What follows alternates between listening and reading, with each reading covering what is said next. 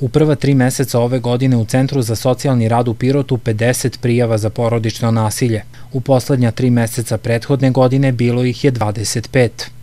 Taj broj je udvostručen, ali e, to ukazuje da e, negde svi preventivni programi koji treba da se bave porodicom treba ozbiljno da budu koncipirani i prosto da ne budu neka slova na papiru, već da te projektne aktivnosti budu usmerene na jedan proaktivni pristup porodicama kako bi se smanjio, kažem, smanjio obim nasilja, porodičnog nasilja.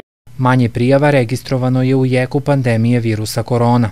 Sada već porodične situacije, odnosno porodične prilike se relaksiraju i sada već e, porodice, pojedine porodice gde je bilo problema, e, negde ti problemi postaju jači Porodično nasilje može biti i fizičko, psihičko, ekonomsko. Nema generalno definisanog profila ko može biti žrtva. To, na primjer, mogu biti i žene u gradu, ali i u ruralnim područjima. Žene iz gradskih sredina su osnaženije da prijave nasilje, pokazuju podaci udruženja LAV. Zato su u ovom udruženju osmislili projekat Osnažene, usmeren na žene u ruralnim područjima da negde edukujemo žene da prepoznaju nasilje, da znaju kome mogu da se obrate, e, da znaju koje su zakonske regulative, da znaju prosto koja su njihova prava i na koji način mogu da reaguju u ovakvim situacijama i negde da baš ohrabrimo ovu kategoriju žena iz ruralnog područja, da se možda malo više e, posvete sebi i pozabave e, svojim problemima. Ulogu nevladinih organizacija u prevenciji ovog društvenog problema prepoznaju i u tome da budu spona žrtava institucija.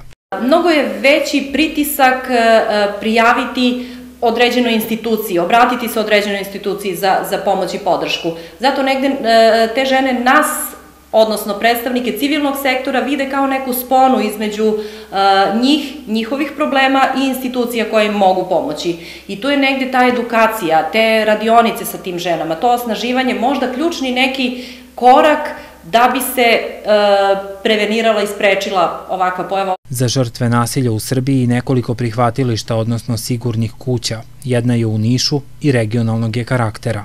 Ovo je i dalje veliki problem, i dalje ima puno slučajeva nasilja, ali ukoliko uporedimo neki period, ne znam, pre nekih 8-9 godina, na primer, sada govorim o ustanovi, o sigurnoj kući, mi smo ranije, na primer, na smeštu imali po 140-170 osoba na godišnjem nivou. Sada je ta situacija drugačija i mi poslednje godine imamo 70 Od 2011. kada je otvorena Niška sigurna kuća bila je utočište za više od 950 korisnika, navodi se na sajtu ove ustanove.